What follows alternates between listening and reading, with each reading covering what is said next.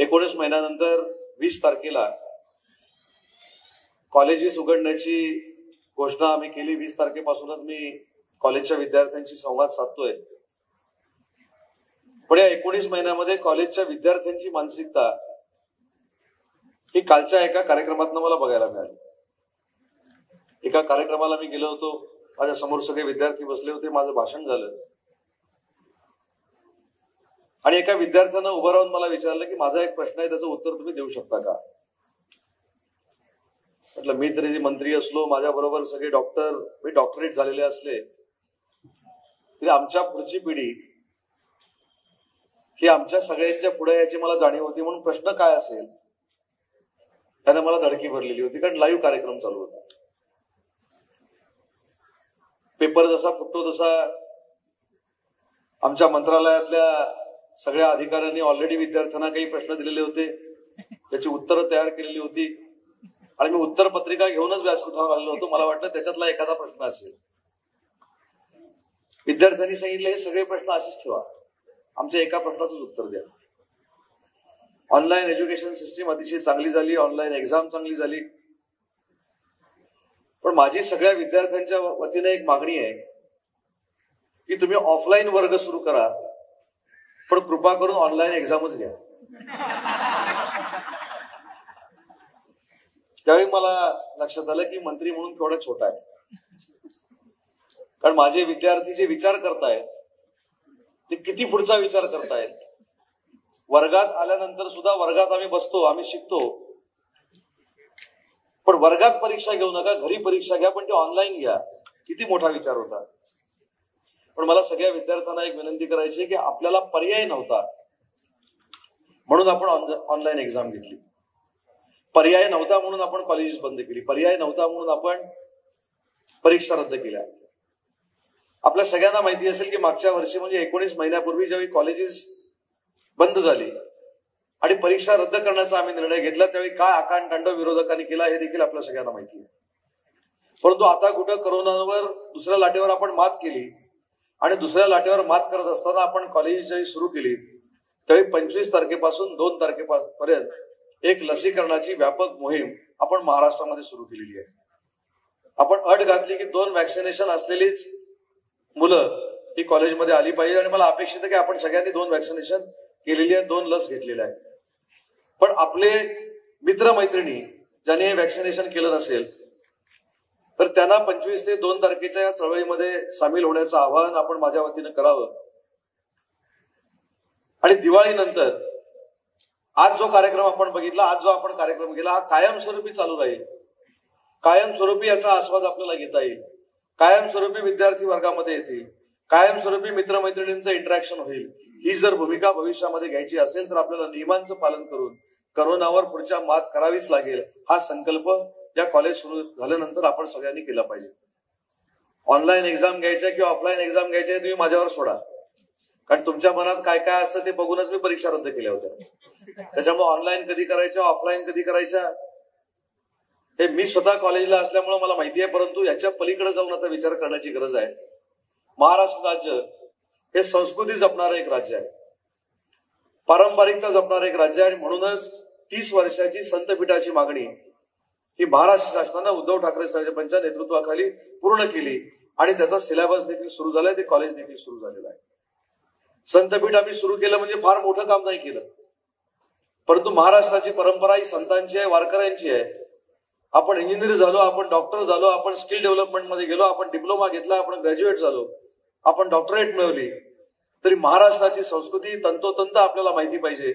म्हणूनच तीस वर्षानंतर या वारकऱ्यांची आणि संत संप्रदायाची मागणी संजयजी आम्ही मागणी केली मान्य केली. आणि तीस वर्षानंतर आम्ही संतपीठ महाराष्ट्रामध्ये करू शकलो. हा आम्हाला आनंद आहे. पण तीस वर्ष संतपीठ होऊ शकलं नाही. हे मात्र आमचं दुःख आहे. कॉलेजेस बंद झाली चालू होतील. हा सगळा करोनाचा जो काय भाग आहे संपेल. करोनावर आपण मात नक्की करू. पण करोनावर मात करत असताना आपली देखील भविष्यामध्ये काहीतरी जबाबदारी आहे. ती महाराष्ट्रासाठी आहे देशासाठी आहे. ही सगळी जबाबदारी घेत असताना ज्यांच्या नावानं आज सभागृहाचं उद्घाटन मी केलं त्या डॉक्टर एपीजे अब्दुल कलाम साहेबांचा आदर्श आपण जर डोळ्यासमोर ठेवला तर मला असं वाटतं की अनेक एपीजे अब्दुल कलाम आपल्या संस्थेमध्ये निर्माण होतील.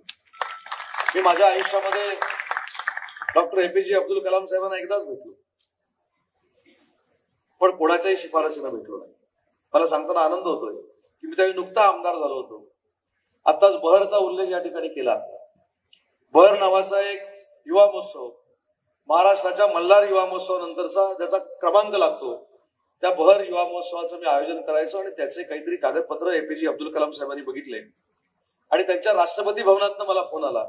ते पुण्याला येणार होते मी याच राजभवनाला. पुण्याच्या राजभवनाला एपीजे अब्दुल कलाम साहेबांना भेटलो. आणि मला असं वाटलं की कोणतरी माझी चेष्टा करते.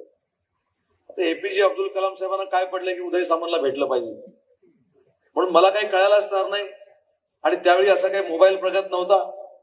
त्याच्यामुळे मी पहिल्या तासामध्ये हा विषय सोडूनच दिला होता की एपीजे अब्दुल कलाम साहेब आपल्याला फोन करणार नाहीत. माझ्या कॉलेज जीवनातले काही मित्रमंडळी कदाचित रत्नागिरीत असतील त्यांनी माझ्या घरी फोन करून सांगितलेलं आहे की उदय सामंतला एपीजे अब्दुल कलामला बोलवलेलं आहे. म्हणून मी एक तासभर त्याच्याकडे दुर्लक्ष केला आणि त्याच्यानंतर कलेक्टर ऑफिसचा एक माणूस माझ्या घरी मला भेटायला आला. आणि मला त्यांनी सांगितलं की आपल्याला एपीजे अब्दुल कलाम साहेबांनी भेटायला बोलवलेलं साहेब माझ्या आयुष्यातला तो सुवर्ण क्षण होता. सुवर्ण योग होता. मी एपी एपीजे अब्दुल कलाम साहेबांना रात्री साडे दहा वाजता याच पुण्याच्या राजभवनला भेटलो. राजभवनला भेटल्यानंतर राष्ट्रपतींना भेटताना कसं भेटतात? कारण नव्यानं आमदार झालो होतो घरात. कोणी खासदार नाही कोणी आमदार नाही. कोकणामध्ये अनेक मुख्यमंत्री होऊन गेले. त्यांचे अनेक चिरंजीव काम करतात तसा काय मी चिरंजीव नाही. माझ्या घरामध्ये कोण ग्रामपंचायतीचा सदस्य देखील नाही. सोसायटीचा चेअरमन देखील नाही. आणि असं असताना आमदार झाल्यानंतर तिसऱ्या महिन्यामध्ये मला एपीजे अब्दुल कलाम साहेबांना भेटण्याची संधी मिळाली. काबरत काबरत एपीजे अब्दुल कलाम साहेबांपर्यंत पोहोचलो. ग्रामीण भागातला कार्यकर्ता असल्यामुळे माझं इंग्लिश सुंदर. हिंदी तर त्याच्यापेक्षा सुंदर. आता त्यांच्याबरोबर हिंदी इंग्रजीमध्ये बोलायचं. म्हणजे तो परत न्यूनगंड मनामध्ये. मी जर हिंदीमध्ये बोललो इंग्रजीमध्ये बोललो तर त्यांचं इंग्रजी हिंदी बिघडू नये ही माझ्या मनामध्ये भीती. पण त्या महान व्यक्तीला भेटल्यानंतर मला असं जाणवलं प्रत्येकाच्या बॉडी लँग्वेजवरनं समोरची व्यक्ती आजमावत असते की ही व्यक्ती काय. संजयजी आपल्याला आश्चर्य वाटेल. एपीजे अब्दुल कलाम साहेबांनी माझ्याबरोबर मराठीत बोलायला सुरुवात केली. ठीक आहे मराठी त्यांचं हिंदी मिक्स होतं. परंतु माझ्या हवावरनं त्यांना कळलेलं होतं की याच्याबरोबर जर मी हिंदीत बोललो ह्याच्याबरोबर जर इंग्लिशमध्ये बोललो तर ह्याची किमान पुढच्या आठ दिवसाची झोप उडेल. म्हणून ह्याच्याबरोबर पहिली मराठीतनं सुरू करूया. मग ते माझ्यावर हिंदीतनं बोलले माझा कॉन्फिडन्स त्यांनी वाढवला. मग थोडं माझ्या इंग्रजीतनं बोलले अजून माझा कॉन्फिडन्स वाढला. पण त्यांनी मला काय सांगितलं ते विद्यार्थ्यांसाठी महत्वाचं. साहेब त्यावेळी त्यांनी मला सांगितलं मग राष्ट्रपती म्हणून ते देशाचं काम करत होते मला त्यांनी विचारलं की तुझं मिशन काय? मी त्यांना सांगितलं साहेब काल परवाच निवडून आलोय मिशन कसलं? चाळीस वर्षाची परंपरा होती लोकांची. त्याच्यात सत्तावीस वर्षाचा पोरगा मी उभा राहिलेलो बॅट बॉल खेळणारा. अनेक लोकांनी प्रचार केला आहे क्रिकेट खेळणारा काय निवडून येऊ शकतो?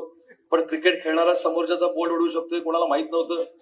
म्हणून माझ्यासारखा कार्यकर्ता निवडून आला पण पाच वर्षांना तो परत येईल की नाही? हे मला माहीत नाही कारण आमच्या मतदारसंघाची परंपरा अशी आहे की टेस्टिंग म्हणून तीस पस्तीस वर्षानंतर एखाद्याला निवडून देतात पण पाच वर्षांना परत आपटतात. अशी आमच्या मतदारसंघाची परंपरा होती. आणि म्हणून घाबरत घाबरत त्यांच्याशी बोललो की माझं मिशन काय मतदारसंघ सांभाळणं. आणि त्याच्यातनं विकासाची कामं करणं. त्यांनी जे मला सांगितलं ते साहेब संजयजी वाक्य महत्वाचं आहे. त्यांनी मला सांगितलं की ठीक आहे तुम्ही विकास करा रस्त्याचा विकास करा पुलांचा विकास करा इमारती बांधा. परंतु महाराष्ट्राची आणि देशाची पुढची पिढी आहे ही संस्कारित कशी होईल? ती संस्कारानं मोठी कशी होईल?